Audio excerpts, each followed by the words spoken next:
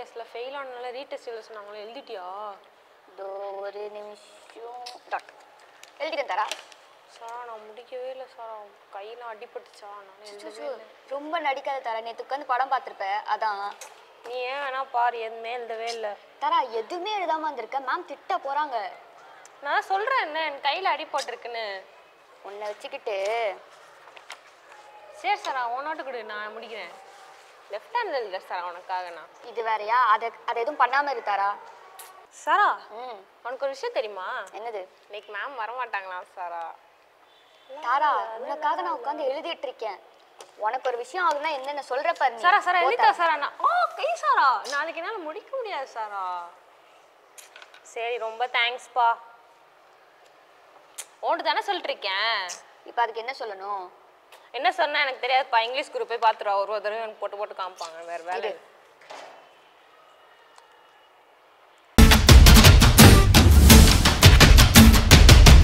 வணக்கம். எனக்கு நல்லா தெரியும் இந்த வீடியோவை பார்க்குற நிறைய நல்ல உள்ளங்கள் ரொம்ப நல்ல நிறைய பேருக்கு ஹெல்ப் பண்ணியிருப்பீங்க அப்படிங்கிறது எனக்கு நல்லாவே தெரியும். ஸோ நீங்கள் யாருக்காவது ஹெல்ப் பண்ணியிருக்கீங்க அப்படின்னு சொ- சொல்லும் பொழுது நிறைய பேர் உங்களுக்கு தேங்க்யூ அப்படின்னு சொல்லியிருப்பாங்க இல்லையா ஆங்கிலத்தில். அந்த மாதிரி தேங்க்யூ அப்படின்னு சொல்லும் பொழுது நீங்கள் ஆங்கிலத்தில் எப்படி திருப்பி ரிப்ளை பண்ணியிருப்பீங்க வாயமுடின்னு சும்மா இருந்தால் நம்மளுக்கு மரியாதை தெரியல அப்படின்னு நினச்சிப்பாங்க. ஸோ அவங்க தேங்க்யூ அப்படின்னு சொன்னாங்கன்னா நம்ம எப்படிலாம் ரெஸ்பாண்ட் பண்ணலாம் அப்படின்றது நம்ம ஜென்ரலாகவே எப்படி ரெஸ்பாண்ட் பண்ணுவோம்? ஷோர் அப்படின்னு சொல்லுவோம். நோ ப்ராப்ளம் அப்படின்னு சொல்லுவோம். யூ ஆர் வெல்கம் அப்படின்னு சொல்லுவோம். ஸோ இதை தவிர்த்து வேறு ஏதாவது வழி இருக்கா? ஆங்கிலத்தில் வித்தியாசமாக தேங்க்யூக்கு ரெஸ்பாண்ட் பண்ண முடியுமா? அப்படிங்கிறது தான் இந்த எபிசோடில் நம்ம பார்க்க போகிறோம் இதையே வந்து ரெண்டு எபிசோட நம்ம பார்க்க போகிறோம் ஃபஸ்ட் எபிசோடில் பார்த்தீங்கன்னா கேஷுவலாக அதாவது சின்ன பசங்க உங்கள் ஃப்ரெண்ட்ஸு அந்த மாதிரி சர்க்கிளில் வந்து தேங்க்யூ ஒருத்தவங்க சொன்னாங்கன்னா எப்படி அவங்களுக்கு ரெஸ்பாண்ட் பண்ணலாம் அப்படின்னு பார்ப்போம். இன்னொன்று வந்து ஒரு ஆஃபிஷியல் சர்க்கிள்லையோ இல்லை பிஸ்னஸ் சர்க்கிள்லையோ ஒரு உங்கள் பாஸோ தேங்க்யூ அப்படின்னு சொன்னார் அப்படின்னா இல்லை வயசில் பெரியவங்களோ தேங்க்யூன்னு சொன்னாங்கன்னா அவங்களுக்கு ஃபார்மலாக எப்படி ரெஸ்பாண்ட் பண்ணுறது அப்படிங்கிறத அடுத்த எபிசோடில் பார்க்கலாம். முதல்ல கேஷுவலாக உங்கள் ஃப்ரெண்ட்ஸ் சர்க்கிள் வந்து உங்களுக்கு தேங்க் பண்ணாங்கன்னா அவங்களுக்கு எப்படி ரெஸ்பாண்ட் பண்ணுறது அப்படிங்கிறத பார்க்கலாம்.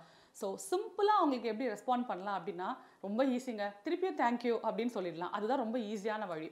அதை விட்டால் என்ன சொல்லலாம்னா கூல் அப்படின்னு சொல்லலாம். ஏன்னா இவங்கெல்லாம் ஃப்ரெண்ட்ஸ் தான் இல்லையா? நீங்கள் கூல் அப்படின்னு சொன்னால் சந்தோஷப்படுவாங்களே தவிர அவங்க வந்து ஒரு ஃபார்மாலிட்டிலாம் எதிர்பார்க்க மாட்டாங்க. அதனால் கூல் அப்படின்னு சொல்லலாம். No need to thank me அப்படின்னு சொல்லலாம். ஸோ இதே வந்து இந்த no need to thank me அப்படின்னு சொல்லும்பொழுது அந்த டோன் வந்து ரொம்ப முக்கியங்க. No need to thank me அப்படின்னா அது வந்து என்னது? ரொம்ப திமிர் பிடிச்ச மாதிரி நம்மளை காமிக்க மாதிரி ஆகிடும் ஸோ அந்த மாதிரி சொல்லாமல் oh no need to thank மீயா அப்படின்னு சொல்லலாம். அதோடு இல்லாமல் இன்னொரு விதமாக எப்படி சொல்லலாம்னா இட்ஸ் ஆல் ரைட் சொல்லலாம். நோ ஒரிஸ் அப்படின்னு சொல்லலாம். இன்னும் கொஞ்சம் வந்து ஃபன்னியாக சொல்லணும்னா I know you would do the same thing for me அப்படின்னா என்ன அர்த்தம்? எனக்கு தெரியும். நாளைக்கு எனக்கு ஒரு பிரச்சனைனா நீயும் இதே மாதிரி ஹெல்ப் பண்ணுவ அப்படிங்கிறது எனக்கு தெரியும் அப்படின்னு அர்த்தம். அது எப்படி சொல்லலாம்னா I know you would do the same thing for me அப்படின்னு சொல்லலாம். இது வந்து ஒரு விஷயத்தை செஞ்சுட்டு நம்ம திருப்பி எதிர்பார்க்குற மாதிரி ஒரு அர்த்தமும் வரும். ஆனால் ஃப்ரெண்ட்ஸுக்கு அதனால தான் இதை வந்து கேஷுவலாக சொல்லலாமே தவிர ஒரு அஃபிஷியல் கிட்ட சொல்லும்போது I know you would do the same thing for மீன்னு சொல்லக்கூடாது. ஃப்ரெண்ட்ஸ் கிட்ட சொல்லலாம். ஏன்னா இதில் வந்து சின்ன ஒரு எதிர்பார்ப்பு இருக்கு இல்லையா? நாளைக்கு நீ எனக்கு ஒரு கஷ்டம்னா நீங்களும் செய்வீங்க அப்படின்ற அர்த்தத்தில் நான் செஞ்சேன்ற மாதிரி ஆயிடுதில்ல அதனால இதை மட்டும் ஃப்ரெண்ட்ஸு கிட்ட யூஸ் பண்ணால் ரொம்ப நல்லது. இப்போ நீங்க பெருசா ஒண்ணுமே செஞ்சிருக்க மாட்டீங்க. ஆனா ஒரு சில பேர் ரொம்ப உணர்ச்சி பூர்வமா தேங்க்யூ அப்படின்னு சொல்லுவாங்க. ஸோ அப்போ நீங்க என்ன சொல்லலாம் அப்படின்னா it was the least I could do for you நான் பெருசா ஒண்ணுமே பண்ணலங்க. நீங்க தான் ரொம்ப பெருசா பில்டப்லாம் சொல்லி தேங்க்யூ சொல்றீங்க. நான் என்ன பெருசா பண்ணிட்டேன்? அப்படின்னு நம்ம சொல்லுவோம் இல்லையா? அந்த இடத்துல என்ன சொல்லலாம் அப்படின்னா it was the least I could do for you so இந்த மாதிரி இருக்கிறவங்களுக்கு இன்னும் ரெண்டு விதமாக கூட நீங்கள் சொல்லலாம். அது என்னது அப்படின்னு பார்த்தீங்கன்னா இட் வாஸ் நத்திங் நான் பெருசாக ஒன்றுமே பண்ணல. It was nothing leave it விட்டுருங்க. ஒன்றுமே இல்லை. இட் வாஸ் நத்திங் அப்படின்னு சொன்னாலும் தேங்க்யூக்கு ரெஸ்பாண்ட் பண்ணுற மாதிரி தான் அர்த்தம்.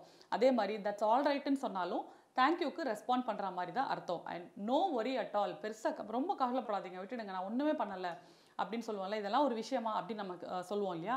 அதை எப்படி சொல்லலாம்னா நோ ஒரி அட் ஆல் அப்படின்னு சொல்லலாம். சரி சில பேருக்கு நீங்கள் ஹெல்ப் பண்ணும்பொழுது ரொம்ப சந்தோஷமாக ஹெல்ப் பண்ணியிருப்பீங்க அவங்க வந்து அனுபவித்து ஒரு தேங்க்யூ அப்படின்னு சொல்லுவாங்க. ஹார்ட் ஃபெல்ட்டாக ஒரு தேங்க்யூ அப்படின்னு சொல்லுவாங்க. அவங்களுக்கு நீங்கள் எப்படி ரெஸ்பாண்ட் பண்ணலாம் அப்படின்னா உண்மையிலேயே நீங்கள் சந்தோஷப்பட்டிருப்பீங்க அவங்களுக்கு ஹெல்ப் பண்ணுறதுக்கு அதுக்கு எப்படி பதில் சொல்லலாம் அப்படின்னா I enjoy doing this to you yeah? இதெல்லாம் விட்டுடுங்க. ஒரு விஷயமே கிடையாது. I enjoy doing this to you I enjoyed helping you அப்படின்னு சொல்லலாம். சரி இதே மாதிரி இது எல்லாம் இப்போ நம்ம பார்த்த இவ்வளவு வேர்ட்ஸும் பார்த்தீங்க அப்படின்னா இவ்வளவு ஃப்ரேசஸும் பார்த்தீங்க அப்படின்னா கேஷுவலாக நம்ம ஃப்ரெண்ட்ஸ் கிட்ட தேங்க்யூக்கு ரெஸ்பாண்ட் பண்ணுறது எப்படி அப்படிங்கிறத பார்த்தோம்.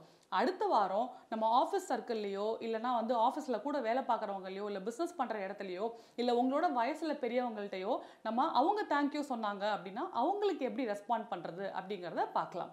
சாரா பார் சார் ஹேண்ட் ரைட்டிங்கே வரமாட்டேது சாரா லெஃப்ட் ஹேண்ட்ல எழுதி தாயேன். தாரா கிறுக்காத தாரா மேம் பார்த்தா திட்டுவாங்க. கை சாரா. ரொம்ப நடிக்காத நானே எழுதி தரேன். கொஸ்டின் பேப்பரை கொடு. ஒரு சுறவழி கிளம்பியதே. சிவதாண்டவம் தொடங்கியதே. சும்மா கிடந்த சங்கை ஊத்தி விட்டாய் சிவனேனு கிடந்தவனை விட்டாய். என்ன சாரா முடிச்சிட்டியா இல்லையா? இரு தாரா. எடுத்துட்டு போ. முடிச்சிட்டியா? முடிச்சிட்டேன். Thank you so much Sara I know you do the same thing for me Tara oh English குருவா? யா யா யா ஓகே ஓகே இது மாதிரி நீங்களும் புது புது வார்த்தைகளை கற்றுக்கணும் அப்படின்னு நினைச்சீங்கன்னா நியூஸ் பிக்ஸ் சேனலில் வர இங்கிலீஷ் குரூப் ப்ரோக்ராம் தொடர்ந்து பாருங்க. உங்களுக்கு ஏதாவது சந்தேகம் அப்படின்னா கமெண்ட் பண்ணுங்க. அது வர தாரா சாரா அடிக்கிற இங்கிலீஷ் மிஸ் பண்ணாதீங்க.